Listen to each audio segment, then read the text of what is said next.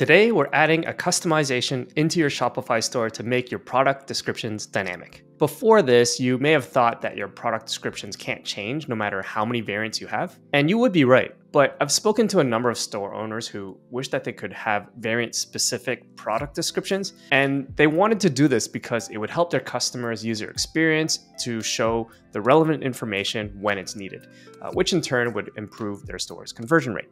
So that's what we're going to be doing today. So if this is relevant for your store, or even if it isn't, if you're looking for some more actionable advice on how to increase the conversions on your store, then we're offering a free personalized action plan.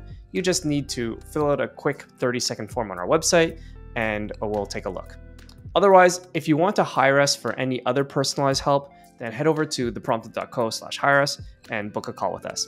I'll share all those links in the description. Uh, but yeah, let's take a look at product descriptions and making them dynamic.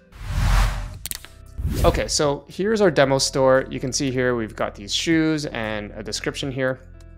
Now, uh, if I go to a different variant, you can see here that the description changes. And we can go to a different variant and it changes again. Um, and these two are actually the same. So um, that's essentially what we're doing here. We're gonna have the ability to change the text that we have here to uh, be specific to each one of the variants. And so there's a lot of different use cases you can have for this. Like if your different variants have maybe a different material or different sizes or just different information that you want to share with it, then you can actually have that specific information in there for that variant instead of having it as one big block of text to show it for all of your variants. And so let's take a look at some of these options that we've built into this feature. So uh, here we made it as a new block called variant description. And then we have these different settings here. So the first one is to specify the uh, the meta field namespace and key. So we can actually point to a different variant meta field if we wanted. Um, but let's, and we're going to get back into this, but let's first look at this fallback. So uh, if your product doesn't actually, uh, sorry, if your variant doesn't actually have anything in it, so let's go to our product here and we can go to our bulk edit. We can look at our variants and you can see here that uh, we've selected this variant here, variant description. So that's the one that we're using right now. Uh, if we come here, variant underscore description. So we've placed this text here for the size 7 shoe. And you can see here, that's what it shows. And we've placed this text for size 8 shoe.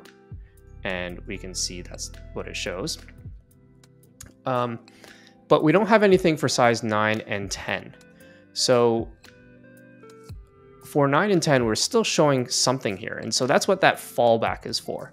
So if we come back here, we can set the fallback to be the product description, for example. So um, in this case, that's exactly what it is. So if we actually show our standard product description, you can see here that's actually uh, it's actually the same thing because we're pulling that information from the product description. But it doesn't have to be the product description. You can make it this rich text here. So if you decide it's rich text, then you can kind of put in whatever text you want to be the default. Uh, you can even choose a page, right? So in this case, it would pull from this page here. So this is um, this is text and an image as the fallback. Um, and you can just say none, like it'll show nothing at all. And maybe you just have uh, the product description that you want always there. And then for some variants, you have some uh, specific information. So you can have that to set it up that way as well. Now, you saw here earlier that if the fallback was a page, you can actually add images into your description. And so that's what we can actually do with the metafield key here. So if we come back to our, uh, our variants, you can see here there's another uh, metafield that we created called variant description page. And so we've set here 8 and 9 to pull these two different pages. So why don't we update this to be page. And then um, let's change this back to product description. And now if we go to 9, you can see here we're pulling from this page here. And if we go to 8, we're pulling from this page. So uh, a lot of flexibility here. You can so you can set the variant description to be either a rich text field or a page, uh, and then you can set your fallback to be the product description, uh, this rich text here, a page, or none. And this gives you all the flexibility that you're going to need in order to set up your products, uh, your product description with that variant, the dynamic variant features in whichever way you want. Um, so if that looks interesting to you, then let's start adding it to your store. Okay, so now we're in our Shopify themes area, and we've just installed uh, a fresh new version of Dawn 15, which is the latest version uh, as we're recording. And uh, we're going to make our edits to this theme, but if you're going to be editing a theme that you've already applied some customizations to, then just make sure to duplicate it first. Um, I can't do it because I'm already hit the maximum, but uh, this is a fresh theme anyway. But for you, uh, you're going to want to duplicate it so that if anything goes wrong, you can always easily go back to the previous version. Um, so now that you've done that, the first step you're going to want to do is to create a meta field. And so we'll go to settings, uh, custom data, and then variants. So this will be a variant meta field because we are making variant specific descriptions and we're going to add a definition. Now, I've already created two meta fields, one rich text and one page. And like I mentioned in the demo portion, that you can actually choose uh, to use a rich text or page meta field. It doesn't really matter. Uh, it'll work with both, but it has to be one of these two and you like uh, like I mentioned, you just set it in the settings. Uh, so um, let's just create a rich text meta field, for example. So variant description uh, rich text, and then we're gonna make the type rich text. Uh, but if you wanted it to be a page, then you just select page instead. So we're gonna make this a rich text, and uh, we're go to save. But before that, this is the namespace and key that you're going to be using in the theme editor. Uh, so we'll show that as we're setting it up a little bit later. So let's save. Okay, and now we can exit and um, we're going to now hop into our theme code. So we'll edit code. And the first file we're going to be updating is the main product.liquid file.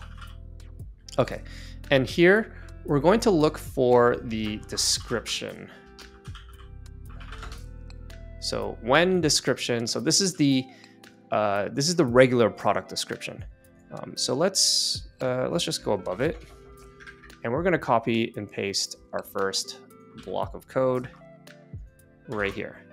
And so this is our variant description block that we're adding in here.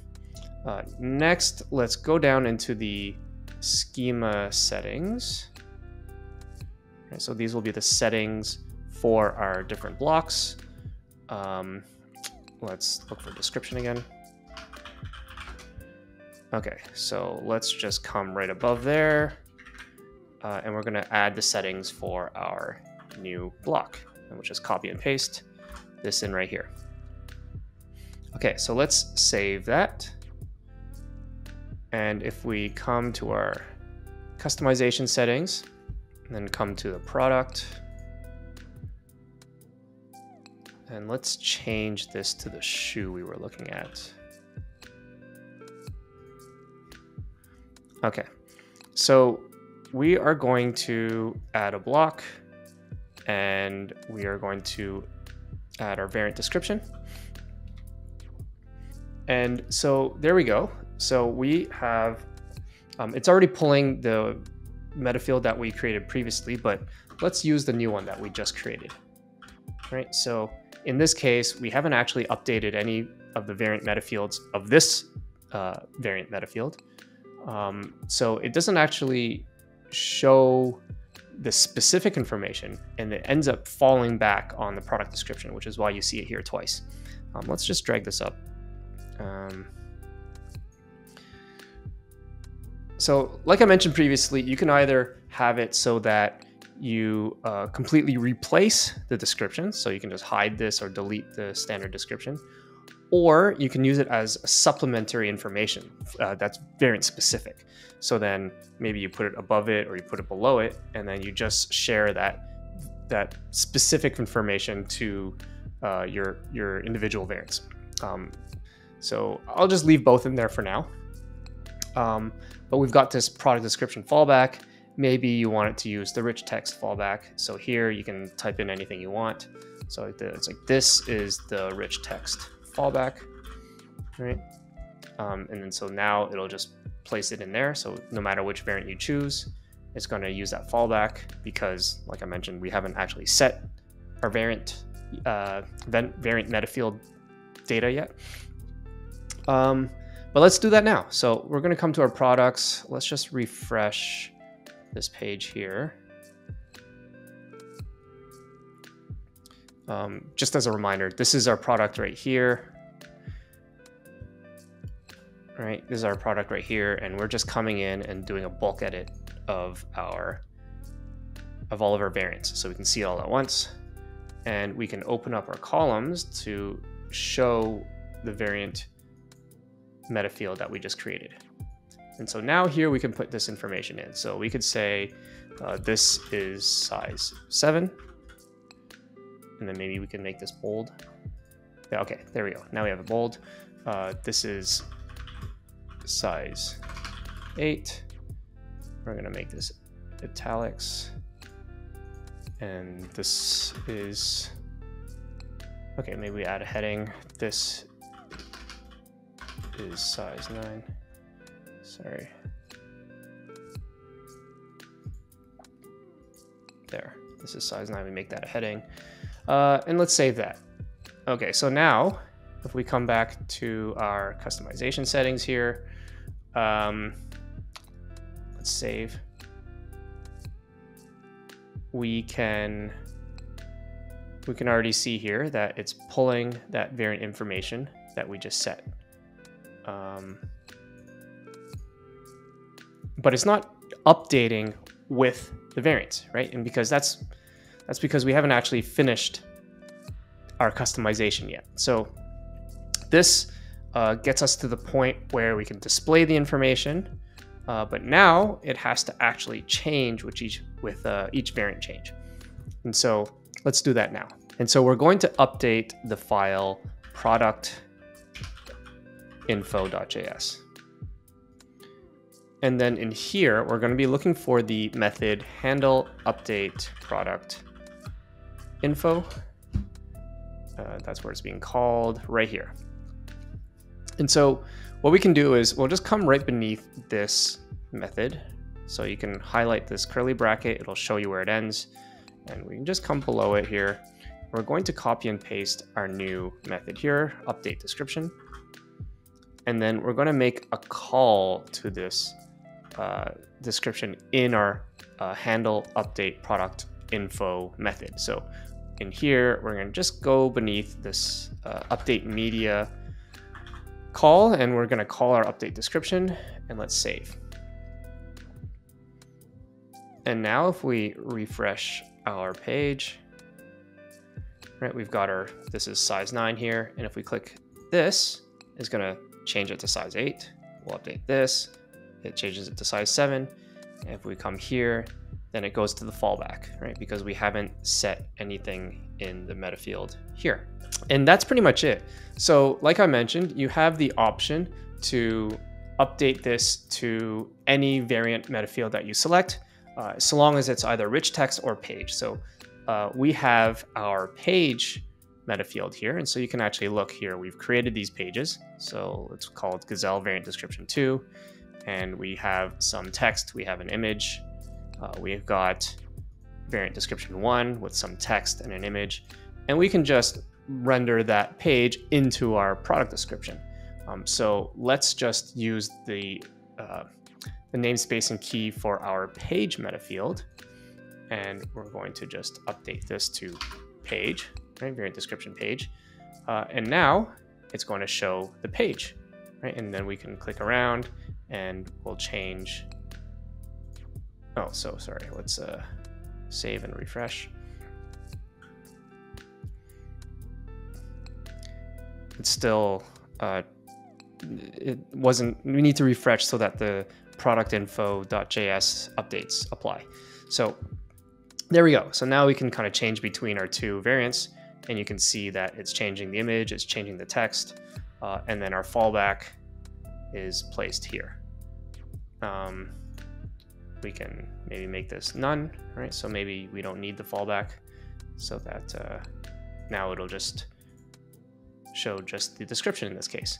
All right, so that's pretty much it. I hope that helps you, but you should now have uh, product descriptions that are dynamically changing with your variants. So let me know if you found the tutorial helpful and how you plan on using this customization. Uh, and as a reminder, if you wanted any personalized help, you can hire us. Just book a call with us at theprompted.co. Uh, but that's it for today. Thanks, and I'll see you in the next one.